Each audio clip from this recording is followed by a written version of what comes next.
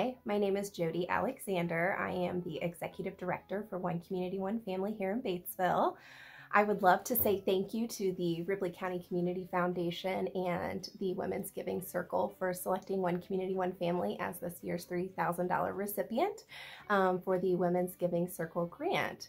We are so honored and thankful for, for this funding. Um, with this funding, we will be implementing a um, a training series, our trauma informed parenting series, that will be open to any caregiver in our local community. We know that, um, you know, there are a lot of children who have experienced trauma. We know that our community has been hit hard with substance use and the opioid epidemic, particularly. And with this training, we'll be able to provide um, some education, some support, really talking about what it means to be a trauma informed parenting, providing some real strategies. Um, for families to use in the home and a way for parents to connect with one another.